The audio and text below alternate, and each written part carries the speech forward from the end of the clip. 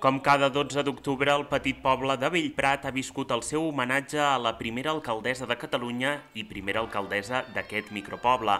Es tracta de l'onzena diada de Castelleres Memorial Nativitat i Arza.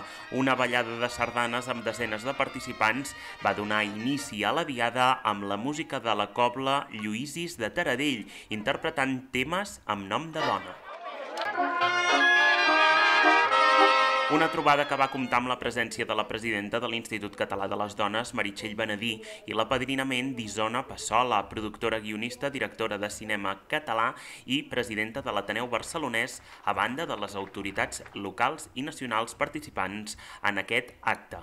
L'homenatge a Iarza va tenir també la tradicional trobada castellera, amb els moxiganguers com a colla principal i la participació dels joves xiquets de Valls i els xicots de Vilafranca. Uh, commemorem no només 150 anys del seu naixement, sinó que va ser la primera alcaldessa d'un poble de Catalunya i també de l'Estat, eh, i a més a més va ser una mestra de la República feminista molt important al nostre territori, en les escoles de, dels municipis del voltant d'Igualada, i per nosaltres és, és un honor poder venir aquí a reivindicar la seva figura i a fer homenatge a una referent per nosaltres, per totes les nenes i per totes les noies, no?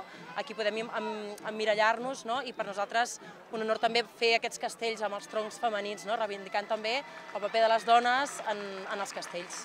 Aquest 2022 se celebren els 150 anys del naixement de Nativitat Iarza, primera alcaldessa elegida democràticament a Catalunya a les eleccions del gener del 1934 en la candidatura d'Esquerra Republicana de Bellprat.